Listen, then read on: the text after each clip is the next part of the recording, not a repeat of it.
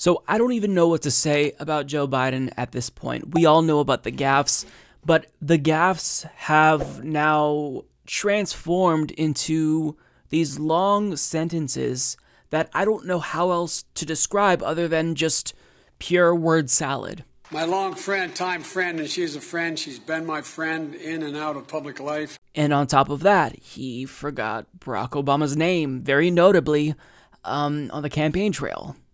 Because they invaded another country and annexed a significant portion of it called Crimea. Right. He's saying that it was President, my boss, it was his fault. So, Joe Biden's campaign has been an unmitigated disaster. And just on a human level, I actually feel bad for him. I feel bad because this individual clearly is not supposed to be running for president. You should be at home. Your mental capacity is deteriorating rapidly before our very eyes.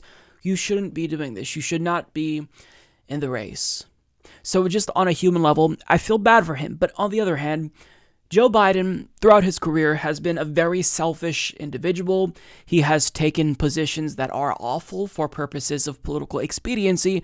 And now, you know, even if I can, you know, sympathize with him and empathize with him to a degree on a human level because of all of the horrible things that has happened to him throughout his life, even though he is wealthy and he's a privileged former vice president, he's gone through things that are absolutely horrible that no human being should have to experience. He has, you know, witnessed the deaths of family members. So I feel bad for him because of that.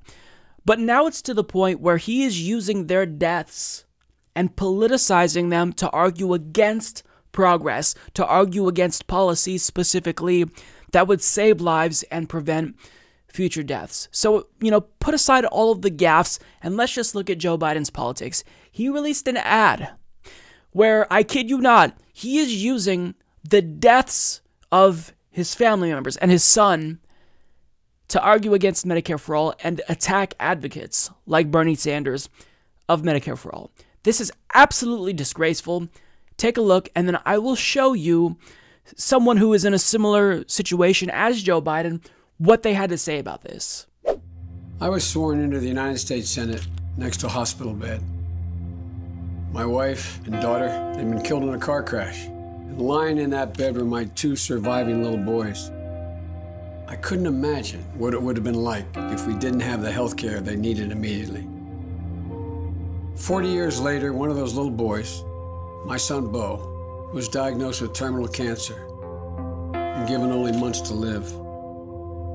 I can't fathom what would have happened if the insurance companies had said for the last six months of his life, you're on your own. The fact of the matter is, healthcare is personal to me. Obamacare is personal to me. When I see the president try to tear it down and others propose to replace it and start over, that's personal to me too. We got to build on what we did because every American deserves affordable health care.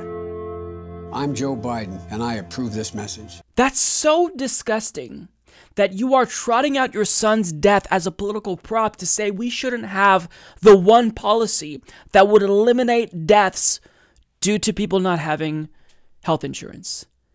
It doesn't get any lower than this. This is basically as low as it goes. This is gutter politics. And he equated what Donald Trump is doing in repealing the Affordable Care Act, chipping away at it to someone like Bernie Sanders. And he didn't cite Bernie by name, but essentially he attacked Bernie, said he wants to start all over. Now, first of all, Obamacare was starting all over. Bernie Sanders is not starting all over. He is taking an existing political program, Medicare, which has a very high approval rating, and he's retooling that so there's no more gaps and then he's expanding coverage. That's not starting over. We are not saying that, you know, we shouldn't have Obamacare because we hate Obama. But what it seems like you're saying is that you just want to hang on to the Affordable Care Act because there's sentimental value there, because Obama did it, or uh, the, uh, uh, your boss did it, if you can remember his name. And it's just, it's so disgusting. Now, Amy Vilela, she is an individual who lost her daughter because she did not have proof that she had health insurance. This is what Amy Vilela had to say in response to Joe Biden using his son to argue against Medicare for all. I can imagine what it's like for my child not to have the health care she needed immediately. I had to hold my 22 year old daughter as she took her last breath. I had to watch my children wail at her bedside. I had to be pulled away from her coffin. No middle ground, Medicare for all. And then she adds Scott knows what it's like for his child not to have the health care his son Danny needed immediately. As a matter of fact, 30,000 Americans every year know what it's like to have their loved ones not have the health care they need immediately. People are dying. That's the reality of not having health care immediately. The only true solution is Medicare for all. And she included the image. This is the reality of having no insurance and for profit hospitals. Shalyn was a student who worked two jobs and had just moved to another state. She went to the hospital with every symptom of a blood clot and was told at an ER to go get insurance and see a specialist. They didn't even give her a medical screening, a right she had under EMTALA. She left humiliated and continued working on obtaining insurance.